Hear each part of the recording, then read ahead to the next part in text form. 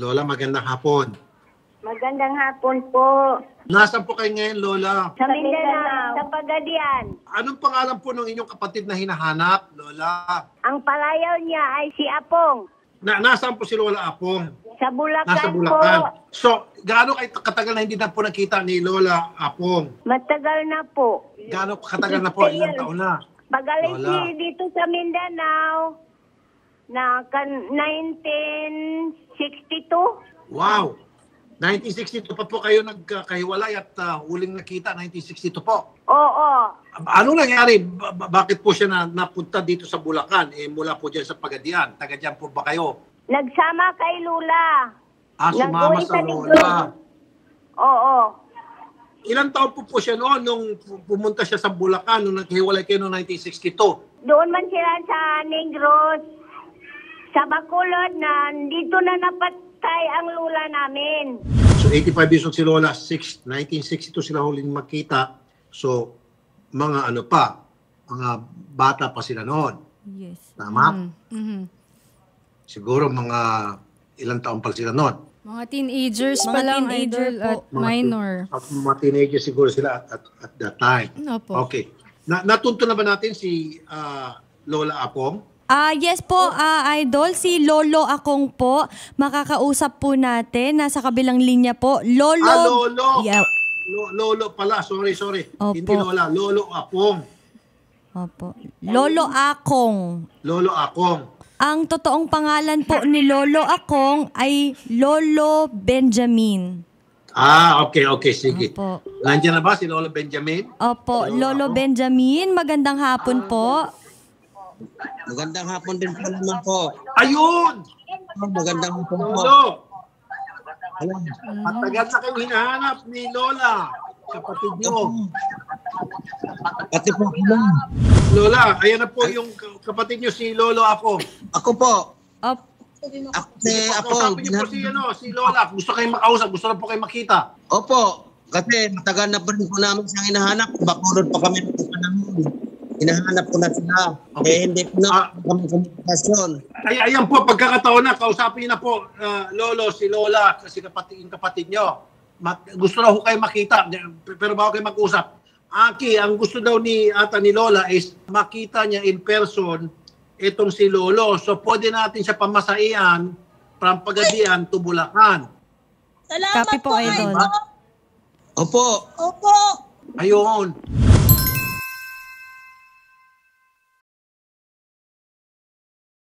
Lola, Oo. papapamasayan kayo namin. Susunduin namin kayo from Pagadian papuntang Bulacan. So, para makita kayo ni, ni Lolo. Ang ibig kong sabihin, ang si Apong na pupunta dito sa Pagadian. Ah, siya ang pupunta sa Pagadian. Gusto Okay. po na, gusto po ni Lola na si Lolo po yung pumunta dito. Ah, okay. Lolo, ang gusto ng kapatid mo, si Lola, kayo rin po ang pupunta ng Pagadian. Kaming bahala magpamasahe sa inyo. Opo. Opo, opo. Lahat ng Opo. accommodation nyo, back and forth, plane ticket, lahat. Okay? Opo. Salamat po, Idol. Okay. Pu- pwede- Gusto nyo pong kausapin si Uto nyo, ahead po, mag-usap kayo. Sir. Opo. Ate Mangay, Oo. baka magkita na tayo. Matagal na rin po kita hinahanap. Panahon pa. Naghiwalay tayo, 1960s pa eh. Walang taon pa lang. Ah, oo. Oo, oo. Nalimutan ko yan. Hanggang ngayon, hindi pa kita nagkikita. Patay na yung iba nating kapatid, hindi pa tayo nagkikita.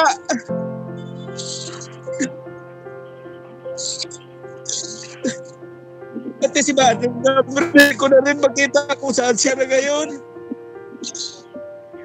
Ate, ba tayo kay Idol? Tutulungan niya tayo, magkita tayo ng personal. Opo. Magpunta Lolo, dito pwede, malaman, ilang taon po kayo magkahiwalay kayo ni Lola? Yes. Ilang taon kayo noon? Uma- na- umalis ako sa Mindanao kasi nung panahon 1960, ah, 1959 eh. Ilang taon po kayo noon, sir? Siyam na taon. Ang tanda ko president, ang tanda ko ano, si ano pa, eh, si Garcia.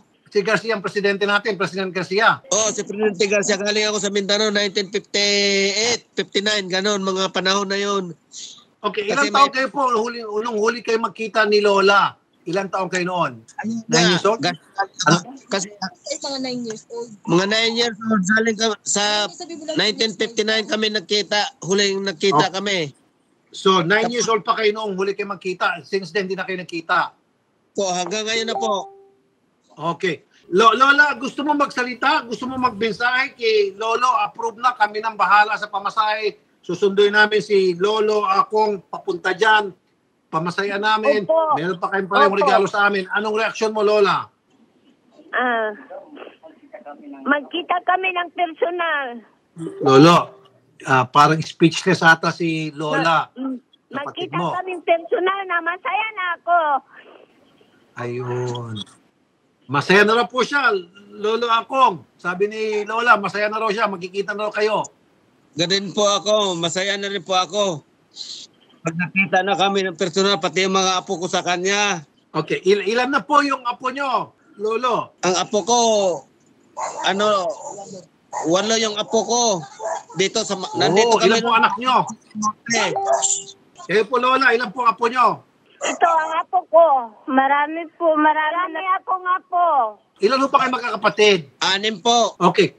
Ano po Pero yung isang bagay na, na hindi nyo po makalimutan kahit na nung 9 years old pa kayo nagkahiwalay, hindi nyo makalimutan na magandang alaala ninyo po kay Lola Noemi, Lolo. Magkakasama kami diyan nakatira ako sa kanila nung araw sa pa, sa San Pablo, Pagadian. Kumusta No? naman po bilang kapatid? Ito pong si Lola Noemi, nung, kung maalala niyo pa po, nung maliliit pa kayo. Mabait ba siya sa'yo? Mabait po. Sila nga nag-aalaga sa amin kasi ate ko siya eh. Kasi Okay. nakapag-asawa siya ng Muslim noon. Kasi nagbukod din sila sa amin sa Pagadian. Doon Aha. siya nakat sa Malbog, sa San Pablo ngayon. Doon ko Ah. siya muling Ang lola ko naman, tama yung sinabi niya, ang lola ko, si Lola Perfecta, dinala kami sa, kasi mahal ako ng lola ko rin eh. Nung umuwi si Lola sa, sa Negro, sabi sa tiyo ko, Okay. Sige po. Lolo, ito, itong gawin natin. Okay na po. Ah, schedule natin agad-agad yung pagkikita niyo po ni Lola. Back and forth, kung kailan niyo po gusto bumalik. Lahat na po kami bahala. Plus, meron pa kayong allowance papunta doon at meron kami regalo sa inyo. May regalo kami kay Lola.